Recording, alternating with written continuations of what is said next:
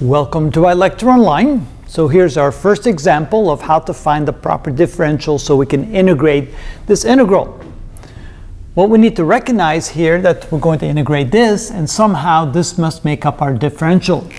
So we can look at this and say what's inside the parentheses here can be represented by the variable u. So we can move that to the side here. We can say that u is equal to x cubed plus 2x squared. And then we can say that du dx, the derivative with respect to x is going to be 3x squared plus 4x. And du, therefore, is equal to, uh, that would be 3x squared plus 4x times dx. And then I look over here and I say, well, what do I have? Well, instead of having this, I have that. It looks like it's twice as much. Instead of 3x squared, I have 6x squared. Instead of 4x, I have 8x. So what I can do is I can factor out a 2, so I can write this as the integral of x cubed plus 2x squared, quantity cubed, times 2 times 3x squared plus 8x. Oh, not 8x because I factored out a 2, so this becomes plus 4x times dx.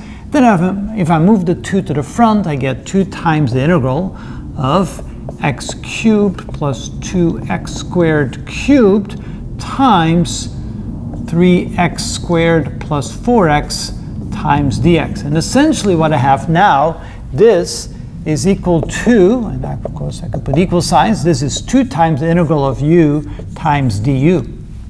And of course it would be u cubed, can't forget the cube there. All right, so essentially that's what I'm dealing with. There's my u cubed, and there's my du. So when I integrate, my du will drop out, and so this will be equal to 2 times the integral. Oh, no, I'm integrating. The integral sign goes away. So it'll be 2 times the quantity u to the fourth power divided by the new exponent 4 plus a constant of integration. 2 and the 4, well, that becomes uh, 1 half u to the fourth plus a constant of integration. Well, essentially, I can do the same thing here without going to this step right here. I can simply say I'm integrating this. This is my du, this is my u cubed. So this becomes 2 times the quantity x cubed plus 2x squared to the fourth power divided by 4 plus a constant of integration. Of course, I need a bracket like that. And then, of course, the 2 and the 4, they cancel out.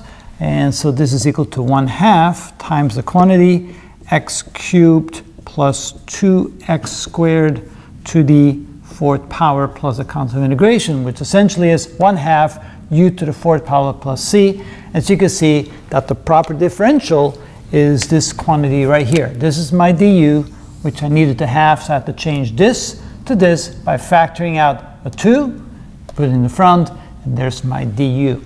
And now we can integrate it.